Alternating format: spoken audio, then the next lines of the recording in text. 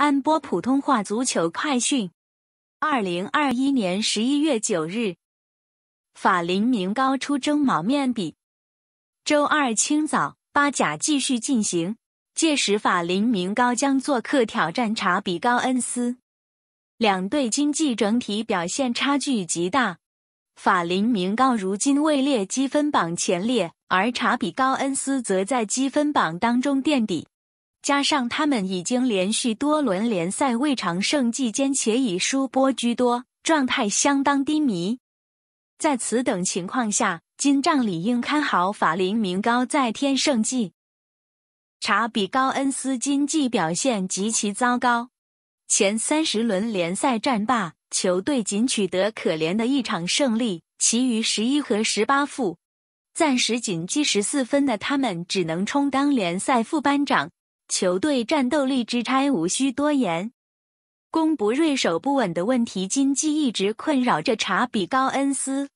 他们联赛至今均场仅能攻入零点八球，而均场失球数却多达一点六七个，攻防表现乃巴甲最差。球队落得如此田地，确实咎由自取。尽管金帐主场作战，但查比高恩斯经济联赛主场仍难求一胜。而且主场负率接近六成五，期间球数得失比仅为十比二十三，明显入不敷出，球队可谓毫无主场战斗力可言。金帐迎战实力强劲兼且近况不俗的法林明高，查比高恩斯的确凶多吉少。阵容方面，门将 G 泰普和华格拿安东尼奥因伤无缘出战。法林明高经济表现值得称赞。二十八轮联赛过后，他们豪取十六胜五和七负的不俗战绩，球队手握五十三分，位居积分榜前三甲之列。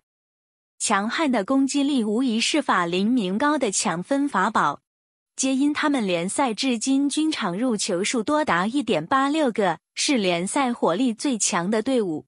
班奴亨利基。米高迪加杜以及加比尔三大攻击手的联赛入球均接近双位数，其中米高迪加杜更加在上轮联赛面对戈亚尼恩斯时上演了梅开二度的好戏。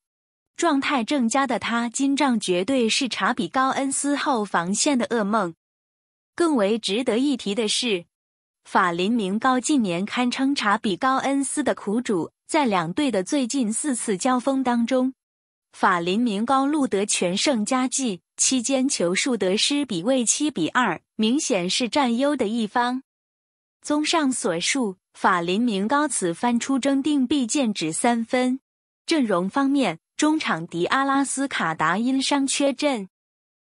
你正在收听的是安波普通话足球快讯，你的一个赞是我们的鼓励。还没有订阅我们的频道，就马上订阅。